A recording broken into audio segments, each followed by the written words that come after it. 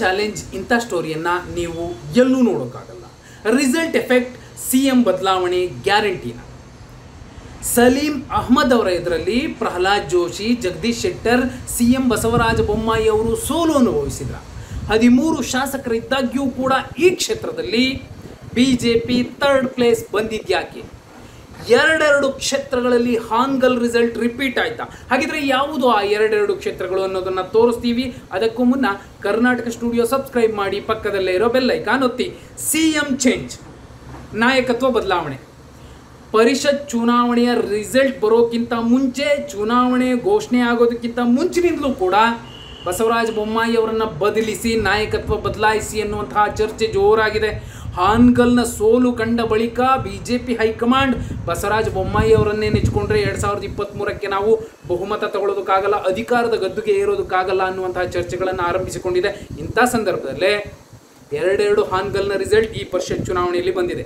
ವಿಶೇಷ ಅಂದರೆ ಇಪ್ಪತ್ತೈದು ಕ್ಷೇತ್ರಗಳಿಗೆ ನಡೆದಂತಹ ಪರಿಷತ್ ಚುನಾವಣೆಯಲ್ಲಿ ಬಿ ಜೆ ಪಿ ಕಿಸಿದು ದಪ್ಪ ಹಾಕಿರೋದು ಕೇವಲ ಹನ್ನೆರಡು ಸ್ಥಾನ.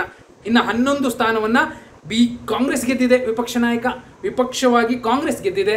ಜೊತೆಯಲ್ಲಿ ನಾಲ್ಕೇ ನಾಲ್ಕು ಮತಗಳ ಅಂತರದಿಂದ ಚಿಕ್ಕಮಗಳೂರನ್ನು ಕಾಂಗ್ರೆಸ್ ಕಳ್ಕೊಂಡಿದೆ. ಇಲ್ಲ ಅಂದಿದ್ರೆ ಬಿ ಜೆ ಪಿ ಸ್ಥಾನ ಎಷ್ಟಾಗ್ತಿತ್ತು? ಹನ್ನೊಂದು ಆಗ್ತಿತ್ತು, ಕಾಂಗ್ರೆಸ್ ಸ್ಥಾನ ಹನ್ನೆರಡು ಆಗ್ತಿತ್ತು, ಒಂದು ಸ್ಥಾನ ಹೆಚ್ಚಿಗೆ ಗಳಿಸ್ತಿದ್ರು. ಕರ್ನಾಟಕ ಸ್ಟುಡಿಯೋದ ಸಮೀಕ್ಷೆಗಳು ಕೂಡ, ನಾವು ಕೂಡ ಭವಿಷ್ಯ ನೋಡಿದ್ವಿ ಬಿ ಜೆ ಪಿಗಿಂತ ಒಂದು ಸ್ಥಾನವನ್ನು ಕಾಂಗ್ರೆಸ್ ಹೆಚ್ಚು ಗಳಿಸುತ್ತೆ ಅನ್ನುವಂತಹ ಒಂದು ಒಂದು ವಿಶ್- ವಿಶ್ಲೇಷಣೆಯನ್ನು, ಒಂದು ಸಮೀಕ್ಷೆಯನ್ನು ಕೊಟ್ಟಿದ್ವಿ. ಇದಾಗಿ ಇದಾದಾಗ್ಯೂ ಕೂಡ ಇದೀಗ ಬಿ ಜೆ ಪಿ ಹನ್ನೆರಡು ಸ್ಥಾನ ಗೆದ್ದಿದೆ, ಕಾಂಗ್ರೆಸ್ ಒಂದು ಸ್ಥಾನವನ್ನು ಗೆದ್ದಿದೆ. ಇನ್ನು ಯಾಕೆ ಸಿ ಎಂ ಬದಲಾವಣೆ ಆಗುತ್ತೆ ಅನ್ನುವಂತಹ ಚರ್ಚೆಗಳು ನಡೀತಿದೆ ಅಂದರೆ, ಖುದ್ದು ಸಿ ಎಂ ಬಸವರಾಜ ಬೊಮ್ಮಾಯಿ ಅವರು ತಮ್ಮ ಮುಂಡಿ ನೋವಿನ ಕಾರಣಕ್ಕೋಸ್ಕರ ರಿಸೈನ್ ಮಾಡಿ ಅಮೆರಿಕದಲ್ಲಿ ಸರ್ಜರಿಯನ್ನು ಮಾಡಿಸ್ಕೊಳ್ತಿದ್ದಾರೆ. ಆ ಕಾರಣಕ್ಕೋಸ್ಕರ ಅವರು ಸರ್ಜರಿ ಮಾಡಿಸ್ಕೊಂಡ್ಮೇಲೆ ಖುದ್ದು ವೈದ್ಯರೇ ಅವರಿಗೆ ಮೂರ್ನಾಲ್ಕು ತಿಂಗಳ ಬೆಡ್ ರೆಸ್ಟನ್ನು ಕೊಡಬೇಕಾಗಿ ಕೊಡ್, ಕೊಡ್ತಾರೆ. ಅಂಥ ಸಂದರ್ಭದಲ್ಲಿ ಇವರು ಎರಡು ಸಾವಿರದ ಇಪ್ಪತ್ತ್ಮೂರರ ಚುನಾವಣೆಗಾಗಿ ಎಲ್ಲ ಕ್ಷೇತ್ರಗಳಿಗೆ ಕಾಲಿಗೆ ಚಕ್ರ ಕೊಟ್ಕೊಂಡು ಓಡಾಡೋದಕ್ಕಾಗೋದಿಲ್ಲ. ಮತ್ತು ಏನು ಬಿ ಜೆ ಪಿಯ ಹೈಕಮಾಂಡ್ ಟಾರ್ಗೆಟ್ ಇದೆ ಒನ್ ಫಿಫ್ಟಿ, ಅದು ರೀಚ್ ಮಾಡೋದಕ್ಕೆ ಸಾಧ್ಯವೇ ಇಲ್ಲೋದನ್, ಇಲ್ಲ ಅನ್ನೋದನ್ನು ಅರ್ಥ ಮಾಡಿಕೊಂಡಿದ್ದಾರೆ. ಆ ಕಾರಣಕ್ಕೋಸ್ಕರನೇ ಸಿ ಎಂ ಬದಲಾವಣೆಯ ಚಾನ್ಸಸ್ ಇಲ್ಲಿ ಯಾಕಾಗುತ್ತೆ ಅಂತ ಹೇಳೋದಕ್ಕೆ ಎರಡೆರಡು ಹಾನ್ಗಲ್ನ ರಿಸಲ್ಟ್ ರಿಪೀಟ್ ಆಗಿದೆ. ಒಂದನೇ ಹಾನ್ಗಲ್ನ ರಿಸಲ್ಟ್ ಯಾವುದು? ಖುದ್ದು ಧಾರವಾಡ. ಏನು ಧಾರವಾಡ ಹಾವೇರಿಯ ಒಂದು ಕ್ಷೇತ್ರ ಇದೆ? ಇದು ಸಿ ಎಂ ತವರು ತವರು ಜಿಲ್ಲೆಯಲ್ಲಿರ್ತಕ್ಕಂತಹ ಕ್ಷೇತ್ರ. ಇದೇ ಕ್ಷೇತ್ರದಲ್ಲೇ ಬಿ ಜೆ ಪಿಗೆ ಮೊದಲ ಪ್ರಾಶಸ್ತ್ಯದ ಮತಗಳು ಸಿಕ್ಕಿಲ್ಲ. ಬದಲಾಗಿ ಕಾಂಗ್ರೆಸ್ನ ಕೆ ಪಿ ಸಿ ಸಿಯ ಕಾರ್ಯದರ್ಶಿ ಸಲೀಂ ಅಹ್ಮದ್ ಅವರು ಇನ್ನೂರೈವತ್ತು ಮೊದಲ ಪ್ರಾಶಸ್ತ್ಯದ ಮತಗಳನ್ನು ತಗೊಂಡು ಪ್ರದೀಪ್ ಶೆಟ್ಟರ್ಗಿಂತ ಮುಂಚೆನೇ ಗೆದ್ಬಿಟ್ರು. ಅಲ್ಲಿ ನೋಡಿ ಜಗದೀಶ್ ಶೆಟ್ಟರ್ ಅವರ ಸೋದರ ಪ್ರದೀಪ್ ಶೆಟ್ಟರ್ ಎರಡನೇ ಪ್ರಾಶಸ್ತ್ಯದ ಮತಗಳಿಂದ ಗೆದ್ದಿದ್ದಾರೆ. ಅಲ್ಲಿಗೆ ಇಲ್ಲಿ ಪ್ರಹ್ಲಾದ್ ಜೋಶಿ ಅವರಿದ್ದಾಗ್ಯೂ ಕೂಡ ಸಿ ಎಂ ಬಸವರಾಜ ಬೊಮ್ಮಾಯಿಯವರಿದ್ದಾಗಿಯೂ ಕೂಡ, ಮಾಜಿ ಸಿ ಎಂ ಜಗದೀಶ್ ಶೆಟ್ಟರ್ ಅವರಿದ್ದಾಗಿಯೂ ಕೂಡ ಬಿ ಜೆ ಪಿ ಎರಡನೇ ಪ್ರಾಶಸ್ತ್ಯದ ಮತಗಳಿಂದಾಗಿ ಗೆದ್ದಿದೆಯೇ ವಿನಃ ಮೊದಲ ಪ್ರಾಶಸ್ತ್ಯದ ಮತಗಳಿಂದ ಗೆದ್ದಿಲ್ಲ. ಇದು ಹಾನ್ಗಲ್ನ ರಿಸಲ್ಟ್ಗಿಂತ ಘನಘೋರ ಮುಖಭಂಗ ಬಿ ಜೆ ಪಿಗೆ ಇದರ ಜೊತೆಯಲ್ಲಿ ಎರಡನೇ ಹಾನ್ಗಲ್ನ ರಿಸಲ್ಟ್ ಯಾವುದು ಅಂದರೆ, ಕುಂದಾನಗರಿ.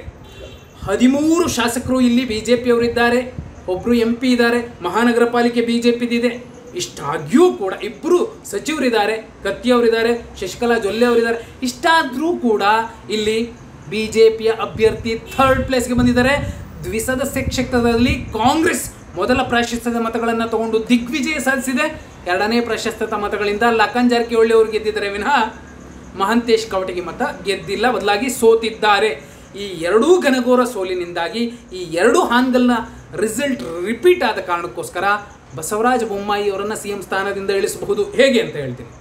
ಇದು ಜನರು ಕೊಟ್ಟಂತಹ ತೀರ್ಪಲ್ಲ, ಚುನಾಯಿತ ಸದಸ್ಯರು ಕೊಟ್ಟಂತಹ ತೀರ್ಪು. ಅಂದರೆ ಎಮರ್ಜ್ ಆಗಿ ಇರ್ತಕ್ಕಂತಹ ನಾಯಕರ ಬೆಂಬಲಿಗರು, ಅವರ ಆಪ್ತರು ಇತರೆ ಕ್ಷೇತ್ರಗಳಿಂದ, ಅಂದರೆ ನಗರಸಭೆಯಿಂದಲೋ, ಪಟ್ಟಣ ಪಂಚಾಯತಿಯಿಂದಲೋ, ಪುರಸಭೆಯಿಂದಲೋ, ಅಥವಾ ಗ್ರಾಮ ಪಂಚಾಯಿತಿಯಿಂದಲೋ ಗೆದ್ದಂತಹ ಏನು ನಾಯಕರುಗಳ ಹಿಂಬಾಲಕರಿದ್ದಾರೆ, ಆಪ್ತರಿದ್ದಾರೆ, ಅಂಥವರು ಕೊಟ್ಟಂತಹ ರಿಸಲ್ಟ್ ಈ ಮೂಲಕ ಅವರು ಕೂಡ ನಾಯಕತ್ವವನ್ನು ಬದಲಾಯಿಸಿ ಎನ್ನುವಂತಹ ಸಂದೇಶವನ್ನೇ ರವಾನಿಸಿದ್ದಾರೆ.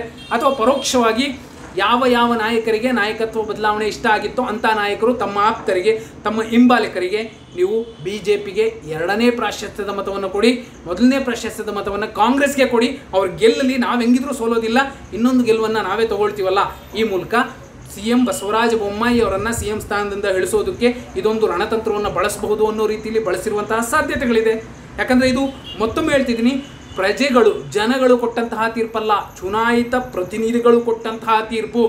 ನಾಯಕತ್ವ ಬದಲಾಯಿಸಿ ಅನ್ನುವಂತಹ ಒಂದು ಕೂಗಿಗೆ ಹೈಕಮಾಂಡ್ಗೆ ಕೇಳಿಸೋ ರೀತಿಯಲ್ಲಿ ಇಲ್ಲಿ ಓಟನ್ನು ಒತ್ತುವ ಮೂಲಕ ಸಂದೇಶ ರವಾನಿಸಿದ್ದಾರೆ.